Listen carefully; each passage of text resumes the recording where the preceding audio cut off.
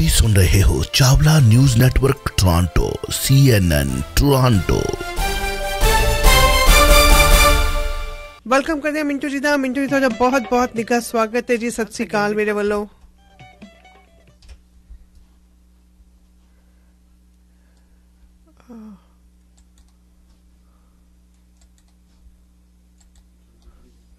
ਮਿੰਟੂ ਸਤਿ ਸ੍ਰੀ ਅਕਾਲ ਜੀ, ਸ਼ੁਕਰੀਆ ਜੀ ਸਾਰਿਆਂ ਨੂੰ, ਸਤਿ ਸ੍ਰੀ ਅਕਾਲ ਜੀ। ਹਾਂਜੀ।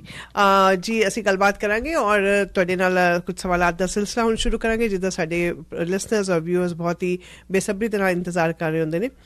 ਅਡਾਨੀ ਜੀ ਨੇ ਕਾਫੀ ਖਲਬਲੀ ਮਚਾਈ ਹੋਈ ਹੈ। ਕਦੀ ਇਦਾਂ ਦੇ ਡਿਸੀਜਨਸ ਆਉਂਦੇ ਨੇ, ਕਦੀ ਆਫ ਕੋਰਸ ਵੀ ਆਲ ਨੋ ਕਿ ਉਹਨਾਂ ਦੇ ਕਾਫੀ ਖਸਤਾ ਹਾਲਤ ਸੀ ਦੋ ਦਿਨ ਪਹਿਲੇ, ਫਿਰ ਉਹਨਾਂ ਨੇ ਆਪਣਾ ਡਿਸੀਜਨਸ ਨੂੰ ਚੇਂਜ ਕੀਤਾ, ਉਹਨਾਂ ਨੇ ਕੁਝ ਨਵੇਂ ਨਿਰਣੇ ਲਏ।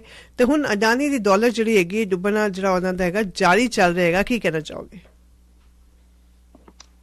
ਹਾਂਜੀ ਬਿਲਕੁਲ ਦੌਲਤ ਦਾ ਤਾਂ ਹੁਣ ਉਹ ਜਿਵੇਂ ਇੱਕ ਫਿਲਮਸ ਆਈ ਸੀ ਨਾ ਬਧਾਈ ਹੋ ਬਧਾਈ। ਜੀ ਜੀ। ਇਹ ਇੱਥੇ ਤਬਾਹੀ ਹੋ ਤਬਾਹੀ ਆ ਬਸ। ਬਿਲਕੁਲ ਦੌਲਤ। ਦਾ ਤਾਂ ਹਿਸਾਬ ਕਿਤਾਬ ਆ। ਤਾਂ ਗੱਲ ਇਹ ਆ ਕਿ ਜਿਸ ਤਰ੍ਹਾਂ ਛੜਪੇ ਮਾਰ ਕੇ ਦੌਲਤ ਵਧੀ ਸੀਗੀ ਹਿਸਾਬ ਲਾ ਲਓ 2014 ਦੇ ਵਿੱਚੋਂ ਕੁਝ ਵੀ ਨਹੀਂ ਸੀਗਾ।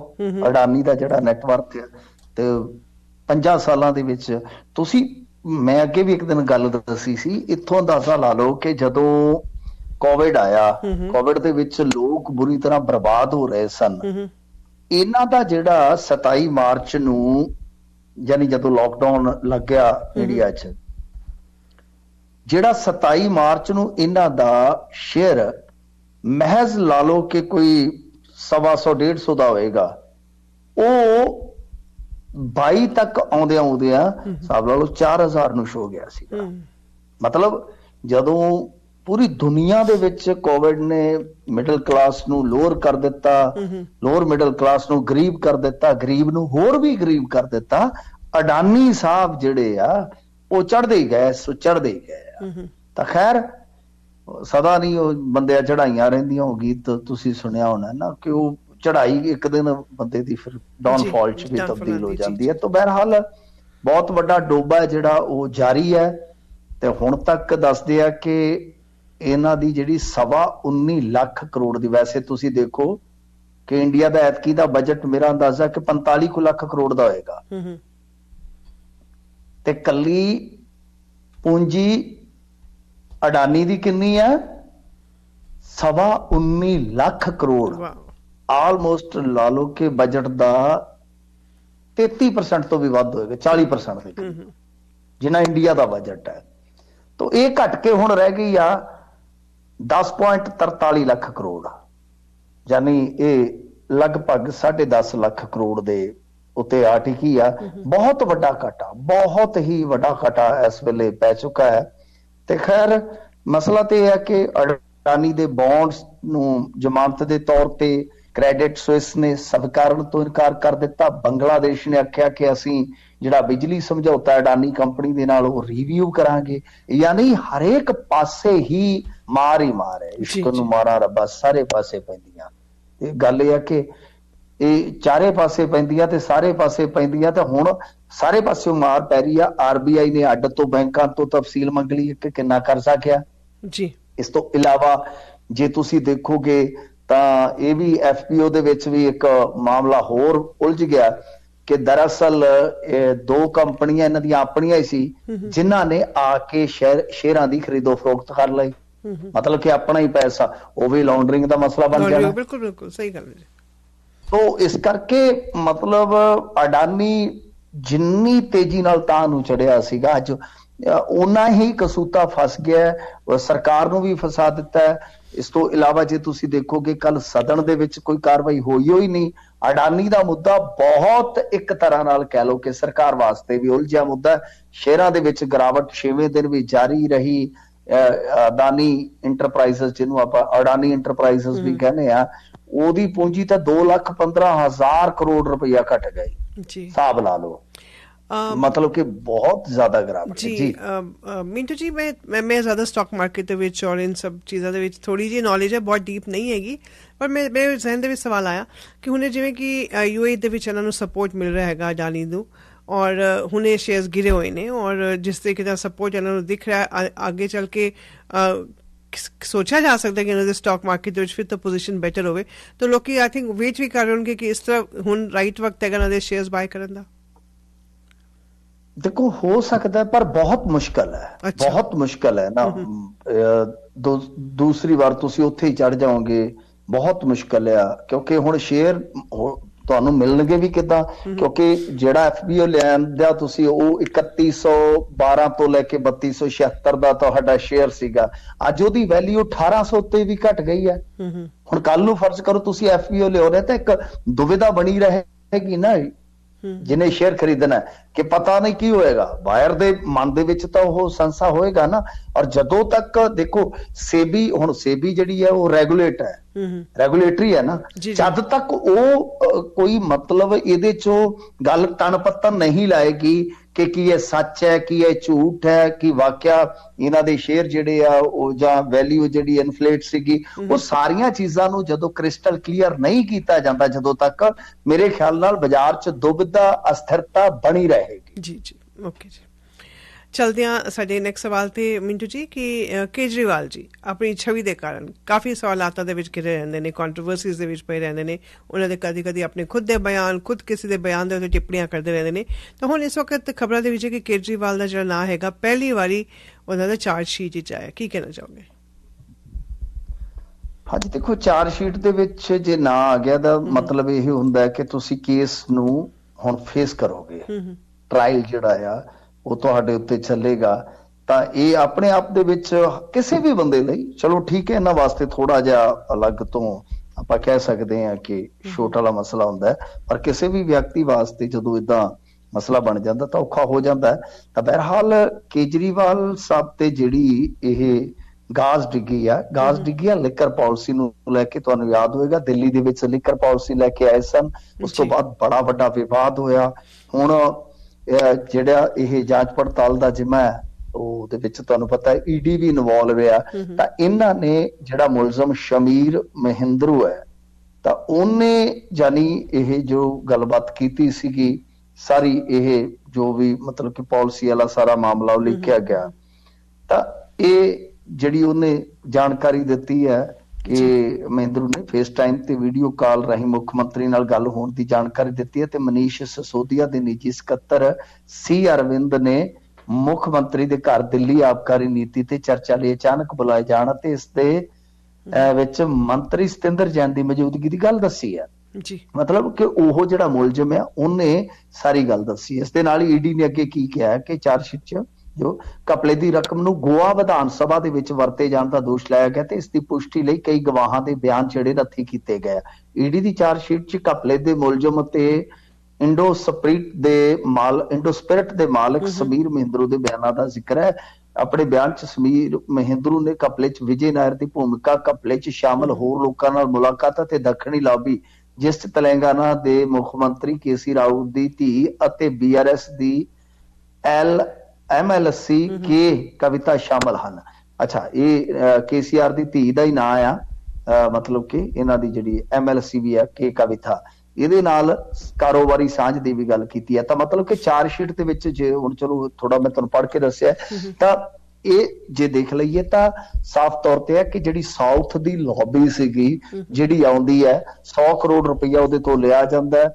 ਗਾਂ ਉਹਨਾਂ ਨੂੰ ਇੱਥੇ ਕੰਮ ਕਰ ਸੰਭਾਇਆ ਜਾਂਦਾ ਜਿਵੇਂ ਆਪਣੇ ਪੰਜਾਬ 'ਚ ਦੋਸ਼ ਲੱਗੇ ਆ। ਤੇ ਫਿਰ ਉਸ ਤੋਂ ਬਾਅਦ ਉਹ ਪੈਸਾ ਜਿਹੜਾ ਹੈ ਉਹ ਗੋਆ ਦੇ ਇਲੈਕਸ਼ਨ 'ਚ ਇਸਤੇਮਾਲ ਕੀਤਾ ਜਾਂਦਾ ਹੈ।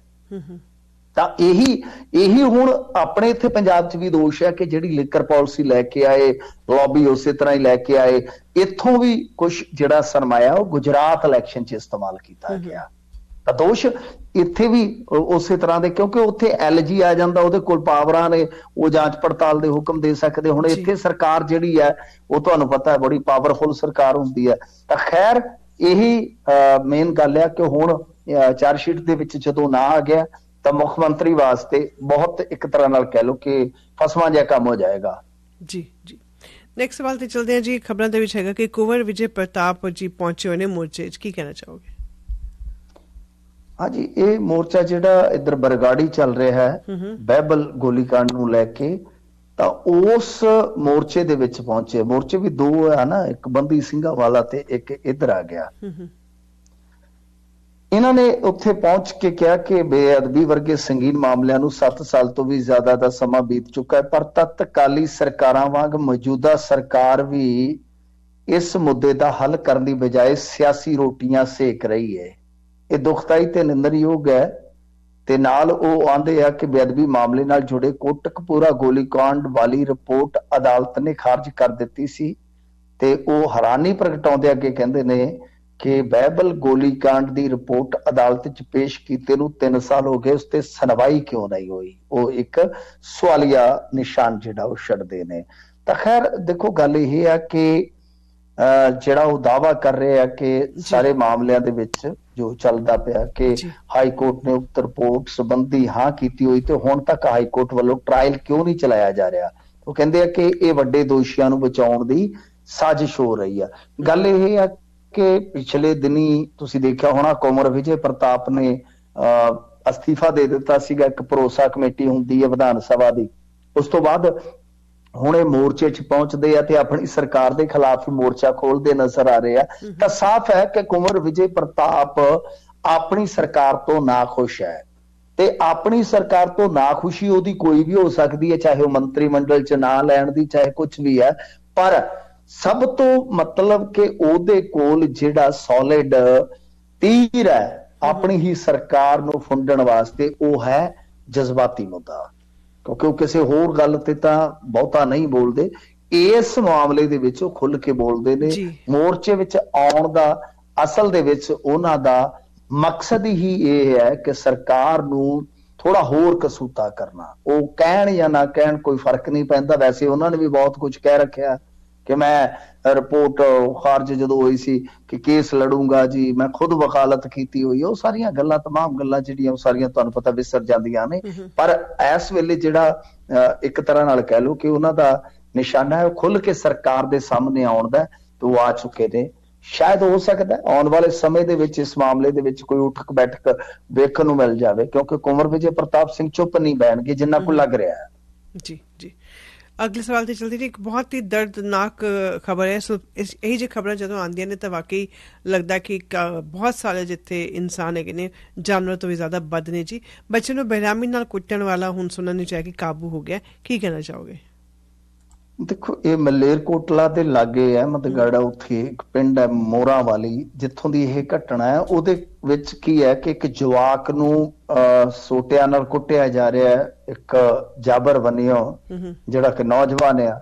ਮਾਮਲਾ ਬਾਅਦ ਦੇ ਵਿੱਚ ਹੌਲੀ ਹੌਲੀ ਖੁੱਲਿਆ ਦੂਰੋਂ ਬੱਚਿਆਂ ਨੇ ਉਹ ਵੀਡੀਓ ਬਣਾ ਲਿਆ ਤੇ ਵੀਡੀਓ ਜਿਹੜਾ ਹੈ ਉਹ ਲੋਕਾਂ ਦੇ ਵਿੱਚ ਪਹੁੰਚ ਗਿਆ। ਵੇਖੋ ਜੇ ਵੀਡੀਓ ਇਸ ਤਰ੍ਹਾਂ ਦੇ ਨਾ ਬਣਦੇ ਹੁੰਦੇ ਅੱਜ ਤਾਂ ਚਲੋ ਦੌਰ ਹੀ ਤਕਨੀਕ ਦਾ ਹੈ। ਤੇ ਪਤਾ ਨਹੀਂ ਕਿੰਨੇ ਕੋ ਇਹੋ ਜਿਹੇ ਜ਼ੁਲਮ ਜਿਹੜੇ ਛੁਪ ਜਾਇਆ ਕਰਦੇ।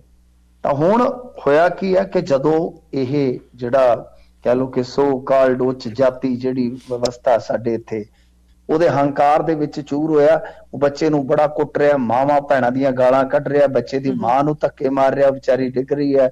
ਵੀਡੀਓ ਦੂਰੋਂ ਬਣਿਆ ਪਰ ਸਾਫ਼ ਤੌਰ ਤੇ ਦਿਖਾਈ ਦਿੰਦਾ ਹੈ ਸਾਫ਼ ਤੌਰ ਤੇ ਸੁਣਾਈ ਦਿੰਦਾ ਹੈ ਕਿ ਉਹ ਹੰਕਾਰਿਆ ਆਦਮੀ ਕਿੰਨਾ ਕੁੱਟ ਰਿਹਾ ਬੱਚੇ ਨੂੰ। ਬੱਚਾ ਗਰੀਬ ਹੈ। ਹੂੰ ਹੂੰ ਐਸੀ ਪਰਿਵਾਰ ਦਾ ਉਹਦੀ ਕਿਤੇ ਜ਼ਮੀਨ ਹੈ ਜ਼ਮੀਨ ਦੇ ਵਿੱਚ ਖੇਡਦੇ ਖੇਡਦੇ ਬੱਚੇ ਨੇ ਕਿਸੇ ਨੇ ਚੱਪਲ ਸੁੱਟ ਦਿੱਤੀ ਉਹ ਚੱਪਲ ਕੱਢਣ ਗਿਆ ਆਖੇ ਤੂੰ ਮੇਰੀ ਕਣਕ ਮਿੱਧ ਦਿੱਤੀ ਆ।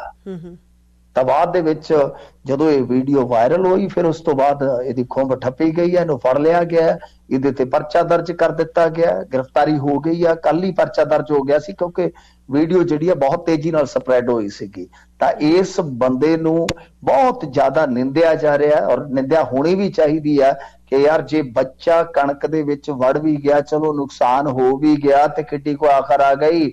ਜੇ ਕੱਲ ਨੂੰ ਗੜੇ ਪੈ ਜਾਣ ਫਿਰ ਵੀ ਤੇ ਜਰੋਗੇ? ਗੱਲ ਹੈ ਜੀ। ਜੇ ਕੱਲ ਨੂੰ ਝਖੜ ਆ ਜਾਵੇ ਫੇਰ ਵੀ ਤੇ ਜਰੋਗੇ? ਉਹ ਤਾਂ ਮਾਸੂਮ ਆ ਜੇ ਮਿਲ ਗਿਆ ਤੇ ਹੋ ਸਕਦਾ ਤੁਹਾਨੂੰ ਚਾਰ ਮਣ ਦਾਣੇ ਵੱਧ ਮਿਲ ਜਾਣ। ਤਾਂ ਗੱਲ ਇਹ ਆ ਕਿ ਬਹੁਤ ਕੋਜੀ ਹਰਕਤ ਤੇ ਕਾਨੂੰਨੀ ਹਰਕਤ ਆ ਜਿਸ ਦਾ ਹੁਣ ਉਹਨੂੰ ਖਮਿਆਜ਼ਾ ਭੁਗਤਣਾ ਪਵੇਗਾ ਸੱਟਾ ਮਾਰਨ ਤੇ ਧਮਕੀਆਂ ਦੇਣ ਗਾਲਾਂ ਕੱਢਣ ਦੇ ਇਹਨਾਂ ਸਾਰੇ ਦੋਸ਼ਾਂ ਤੋਂ ਇਲਾਵਾ ਜੇ ਤੁਸੀਂ ਦੇਖੋਗੇ ਤੇ ਐਸਸੀ ਐਸਟੀ ਐਕਟ ਵੀ ਲੱਗ ਗਿਆ ਹੈ, ਗੁਰਵੀਰ ਨਾਂ ਦਾ ਦਰਿੰਦਾ ਹੈ। ਹੂੰ ਹੂੰ। ਵਧੀਆ ਗੱਲ ਜੀ। ਮਿਲਣੀ ਚਾਹੀਦੀ ਹੈ ਸਜ਼ਾ ਇਹ ਜੇ ਲੋਕਾਂ ਨੂੰ ਕਿ ਦੂਜੇ ਲੋਕਾਂ ਨੂੰ ਵੀ ਇੱਕ ਲੈਸਨ ਹੋਵੇ ਕਿ ਇਸ ਤਰੀਕੇ ਦੀ ਗੱਲਾਂ ਨਹੀਂ ਹੋਣੀ ਚਾਹੀਦੀਆਂ। ਅਗਲਾ ਸਵਾਲ ਅ, ਮਿੰਟੂ ਜੀ ਕਿ ਪੰਜਾਬੀ ਵਿੱਚ ਹੁਣ ਹੋਣਗੇ ਬੋਰਡ ਮੁੱਖ ਮੰਤਰੀ ਨੇ ਆਦੇਸ਼ ਦੇ ਦਿੱਤੇ ਨੇ। ਆਪਣੇ ਆਪ ਦੇ ਵਿੱਚ ਇੱਕ ਬਹੁਤ ਵੱਡੀ ਖਬਰ ਹੈਗੀ। ਕੀ ਕਹਿਣਾ ਚਾਹੋਗੇ? ਹਾਂਜੀ ਦੇਖੋ ਇਹਨਾਂ ਨੇ 21 ਫਰਵਰੀ ਲਾਸਟ ਡੇਟ ਮਤਲਬ ਕਿ ਮਿੱਥੀ ਹੋਈ ਆ ਇਹ ਜਿੱਦਾਂ ਕਹ ਲਈਏ ਡੈਡਲਾਈਨ ਹੈ ਕਿ ਭਾਈ ਸਾਰਾ ਕੁਝ ਜਿਹੜਾ ਉਦੋਂ ਤੱਕ ਤੁਹਾਨੂੰ ਪੰਜਾਬੀ ਚ ਕਰਨਾ ਹੀ ਪਵੇਗਾ। ਚੰਗੀ ਗੱਲ ਹੈ ਬਿਲਕੁਲ ਮੈਂ ਵੀ ਤੁਹਾਡੇ ਨਾਲ ਮੁਤਫਿਕ ਹਾਂ ਕਿ ਇਹ ਚੀਜ਼ਾਂ ਹੋਣੀਆਂ ਚਾਹੀਦੀਆਂ। ਪੰਜਾਬ ਦੇ ਵਿੱਚ ਪੰਜਾਬੀ ਨੂੰ ਤਰਜੀਹ ਜਿਹੜੀ ਆ ਉਹ ਕਿਉਂ ਨਹੀਂ ਦੇ ਰਹੇ ਅਫਸਰ? ਕਿਉਂ ਐਸਾ ਨਹੀਂ ਕਰ ਰਹੇ? ਇੱਕ ਬਹੁਤ ਵੱਡਾ ਸਵਾਲ ਹੈ। ਹਾਲਾਂਕਿ ਨਾਲ ਹੀ ਜੇ ਆਪਾਂ ਦੇਖੀਏ ਤਾਂ ਜਿਹੜੇ ਹੈਗੇ ਨੇ ਸਪੀਕਰ ਸਾਹਿਬ ਉਹ ਵੀ ਯਤਨ ਕਰ ਰਹੇ ਨੇ ਕਿ ਕਿਸੇ ਤਰੀਕੇ ਦੇ ਨਾਲ ਜਿਹੜੀ ਪੰਜਾਬੀ ਆ ਉਹ ਅਦਾਲਤਾਂ ਦੇ ਵਿੱਚ ਵੀ ਲਾਗੂ ਕਰਵਾ ਦਈਏ। ਜੇ ਅਦਾਲਤਾਂ 'ਚ ਵੀ ਲਾਗੂ ਹੋ ਜਾਂਦੀ ਹੈ ਤੇ ਫਿਰ ਤੇ ਬੱਲੇ ਬੱਲੇ ਆ ਨਾ। ਤੇ ਕਹਿ ਲਓ ਕਿ ਬਹੁਤ ਹੀ ਵਧੀਆ ਆਪਾਂ ਕਹਿ ਸਕਦੇ ਹਾਂ ਕਿ ਕੰਮ ਹੋਏਗਾ।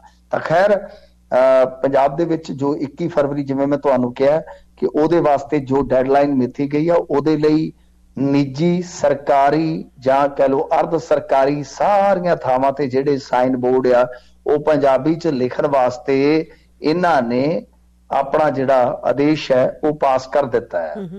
ਯਾਨੀ ਜਿਹੜਾ ਹੁਕਮ ਆ ਉਹ ਜਾਰੀ ਕਰ ਦਿੱਤਾ ਹੈ। ਉਹ ਸਾਰੇ ਜਿਵੇਂ ਮਹਿਕਮੇ ਹੁੰਦੇ ਉਹਨਾਂ ਦੇ ਮੁਖੀਆਂ ਕੋਲ ਚਲੇ ਜਾਏਗਾ। ਫਿਰ ਜਿਹੜੇ ਡਿਵੀਜ਼ਨਾਂ ਦੇ ਵਿੱਚ ਕਮਿਸ਼ਨਰ ਹੁੰਦੇ ਆ ਉਹਨਾਂ ਦੇ ਕੋਲ ਡਿਪਟੀ ਕਮਿਸ਼ਨਰਾਂ ਦੇ ਕੋਲ ਤੇ ਸਾਰੇ ਜਿਹੜੇ ਯੂਨੀਵਰਸਿਟੀਆਂ ਦੇ ਵਾਈਸ ਚਾਂਸਲਰ ਹੈ ਉਹਨਾਂ ਦੇ ਕੋਲ ਚਲੇ ਜਾਏਗਾ। ਤਾਂ ਇਹ ਇੱਕ ਤਰ੍ਹਾਂ ਨਾਲ ਕਹਿ ਲਓ ਕਿ ਬਹੁਤ ਵੱਡਾ ਸਟੈਪ ਚੁੱਕਣ ਜਾ ਰਹੀ ਹੈ ਸਰਕਾਰ ਹੁਣ ਇਹਦੇ 'ਚ ਸਫਲਤਾ ਮਿਲਦੀ ਹੈ ਕਿ ਨਹੀਂ ਮਿਲਦੀ ਦੇਖਦੇ ਆ ਪਰ ਦੂਜੇ ਪਾਸੇ ਖੁਦ ਅਹ, ਮੁੱਖ ਮੰਤਰੀ ਨੂੰ ਆਪਣੇ ਸੀਐਮਓ ਨੂੰ ਵੀ ਸਮਝਾਉਣਾ ਚਾਹੀਦਾ ਹੈ। ਇਸ ਤੋਂ ਇਲਾਵਾ ਮਹਿਕਮਿਆਂ ਨੂੰ ਕਿਉਂਕਿ ਇਹਨਾਂ ਦਾ ਪੱਤਰ ਵਿਹਾਰ ਅੱਜ ਵੀ ਅੰਗਰੇਜ਼ੀ ਚ ਹੈ ਜ਼ਿਆਦਾ। ਅੱਛਾ ਇਹ ਇਹਨਾਂ ਦੇ ਆਪਣੇ ਜਿਹੜੇ ਸਪੀਕਰ ਸਾਹਿਬ ਹੈ ਉਹ ਜਿਹੜੇ ਪੰਜਾਬੀ ਲਈ ਨਾਮਬੰਦੀ ਕਰ ਰਹੇ ਆ ਉਹ ਵੀ ਅਕਸਰ ਟਵੀਟ ਅੰਗਰੇਜ਼ੀ ਚ ਚੇਪ ਦਿੰਦੇ ਨੇ। ਚਲੋ ਕੋਈ ਗੱਲ ਅੰਗਰੇਜ਼ੀ ਚ ਕਹਿਣ ਵਾਲੀ ਹੋਵੇ ਤਾਂ ਕਹਿ ਵੀ ਸਕਦਾ ਬੰਦਾ। ਤਾਂ ਕੋਈ ਦਿੱਕਤ ਨਹੀਂ ਹੈਗੀ ਕੋਈ ਪਰੇਸ਼ਾਨੀ ਨਹੀਂ ਹੈਗੀ। ਮਤਲਬ ਕਿ ਸਭ ਤੋਂ ਜ਼ਰੂਰੀ ਹੈ ਕਿ ਪੱਤਰ ਵਿਹਾਰ ਤਾਂ ਘੱਟੋ ਘੱਟ ਪੰਜਾਬੀ ਚ ਕਰੋ। ਫਿਰ ਜਿਹੜਾ ਸਦਨ ਦਾ ਕਾਰ ਵਿਹਾਰ ਹੈ ਸਾਰਾ ਪੰਜਾਬੀ ਚ ਕਰੋ ਜਿੰਨੇ ਬਿੱਲ ਲਿਆਉਣੇ ਹੋ ਜੋ ਵੀ ਆ ਉਹ ਪੰਜਾਬੀ ਚ ਕਰੋ। ਤੇ ਜੇ ਤੁਸੀਂ ਅਦਾਲਤਾਂ 'ਚ ਵੀ ਲਾਗੂ ਕਰਵਾ ਲਈ ਸੰਸਥਾਵਾਂ 'ਚ ਵੀ ਲਾਗੂ ਕਰਾ ਲਈ ਤਾਂ ਫਿਰ ਮੈਂ ਸਮਝਦਾ ਕਿ ਬਹੁਤ ਬਿਹਤਰ ਹੋਏਗਾ ਬਹੁਤ ਬਿਹਤਰ ਹੋਏਗਾ। ਇਹ ਐਸੇ ਹੀ ਹੁੰਦਾ ਕਿ ਇੱਕ ਵਾਰੀ ਜਾਗਰਤੀ ਜੀ ਆ ਜਾਵੇ ਫਿਰ ਕੰਮ ਚੱਲੀ ਜਾਂਦਾ। ਹੈ। ਜੀ। ਲਾਗੇ ਕਾਲ ਕਾਲਰ ਅਗੇਨ ਪੁੱਛਣਾ ਚਾਹੁੰਦੇ ਨੇ ਸਵਾਲ ਦੇਖਣਾ ਚਾਹੁੰਦੇ ਕੀ ਕਹਿਣਾ ਚਾਹੁੰਦੇ ਨੇ। ਕਾਲਰ ਸਤਿ ਸ੍ਰੀ ਅਕਾਲ ਜੀ ਤੁਸੀਂ 에ਅਰ ਤੇ ਹੋ? ਹੈਲੋ ਹੈਲੋ ਨਹੀਂ ਮਿੰਟੂ ਜੀ ਆਤੀ ਹੁਣ ਮਾਈਂਡ ਚੇਂਜ ਕਰਤਾ ਉਹਨਾਂ ਨੇ। ਜੀ ਇਹ ਮੇਰਾ ਆਖਰੀ ਸਵਾਲ ਸੀ ਮਿੰਟੂ ਜੀ ਔਰ ਤੁਹਾਡਾ ਬਹੁਤ ਬਹੁਤ ਸ਼ੁਕਰੀਆ ਅੱਜ ਦੇ ਪ੍ਰੋਗਰਾਮ ਦੇ ਵਿੱਚ ਤੁਸੀਂ ਅ, ਸ਼ਿਰਕਤ ਕੀਤੀ ਕੱਲ ਫਿਰ ਤੋਂ ਇਸੇ ਅੰਦਾਜ਼ ਨਾਲ ਤੁਹਾਡੀ ਗੱਲਬਾਤ ਹੋਵੇਗੀ ਤਦ ਤੱਕ ਤੁਹਾਡਾ ਸਾਡਾ ਰੱਬ ਰਾਖਾ Mintu ji once again thank you and good night ਧੰਨਵਾਦ ਧੰਨਵਾਦ ਜੀ ਤੁਸੀਂ ਸੁਣ ਰਹੇ ਹੋ Chawla news network Toronto CNN Toronto